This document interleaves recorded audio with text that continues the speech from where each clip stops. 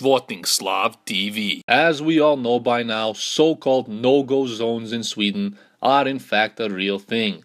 This has been proven time and time again by various reporters and local authorities who have had very unpleasant and at times very violent encounters with the citizens of these majority Muslim enclaves. In 2015, the Swedish police released a report describing 53 districts throughout the country as vulnerable and listed 15 as especially vulnerable. Vulnerable areas are described as having high rates of crime and poverty, where police face unique challenges and have to adapt their approach. These neighborhoods may also host violent religious extremism and locals who don't report crime to police for fear of retribution.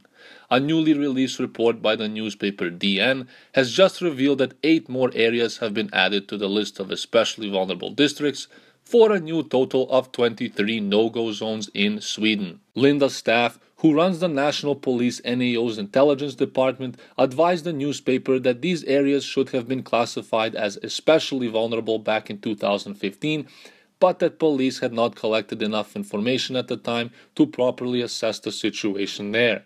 This comes as no surprise, considering that Swedish police largely rejected the term no go zones when it first started being used widely by Swedish columnists nearly two years ago. Swedish police heads have recently requested for more financial resources and for more staff in order to deal with the growing problem. The president of Sweden's ambulance union has also called for enhanced security for his personnel when working in no go zones, saying that the first responders need special military grade equipment to withstand the dangers of the mainly migrant populated areas. In early April, the government owned postal PostNord had also halted mail delivery to some addresses near the troubled Stockholm suburb of Rinkeby, where large scale riots had taken place earlier this year. Ha! Talk about being progressive and free when you can't even freely walk into an area of your own country without risking your life. The gang's attention turns when a local intervenes and drives his mobility scooter into the most violent attacker. Along with the number of no go zones, Sweden is also expected to witness a sharp increase in the amount of rapes this summer. Last year, the number of reported sexual assaults at Swedish summer festivals increased by an astounding 1,000%. This year, Sweden seems to be keeping up with last year's record pace, as the number of police reports at the Grona Lund amusement park in Stockholm has already risen fourfold. In 2016, a wide range of sexual offenses, including molestation and rape, were reported at various summer festivals across Sweden. According to the Swedish newspaper Expressen, the number of reported sexual assaults increased by a mind blowing 1000%, with the newspaper predicting still more cases this year.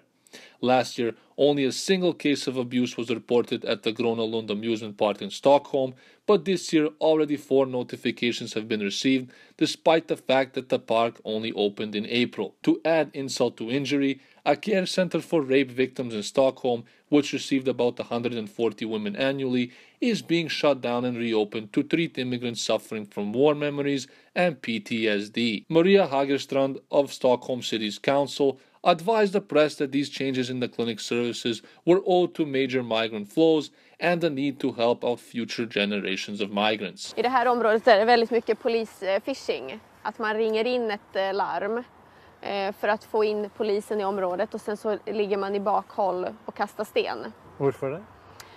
Man er är missnöjd eh. As Sweden continues to battle with expanding no go zones and increasing sexual assaults and rape, it remains to be seen how long Swedish politicians will sit back and turn a blind eye to these rapidly growing problems.